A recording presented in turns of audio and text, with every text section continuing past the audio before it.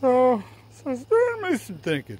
And, uh, you know, a lot, a lot, a lot of times you, you, you have uh, you know, people who are stupid, and they cause you a lot of problems in your life because of their stupidness.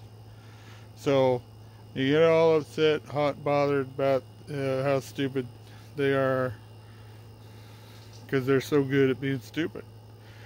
So what I find is if you try to tell them that they're stupid without telling them that they're stupid, because you don't want to tell a stupid person they're stupid, because then they just they just get all crazy and so. So uh, what I find when you find a stupid person, don't try to help, because you ain't, you ain't gonna help, and you're just gonna drive yourself crazy trying to stop them from being stupid. And you can't stop stupid from being stupid. So the best thing you do is just let them keep being stupid, and then just kind of sit back and enjoy the show. Just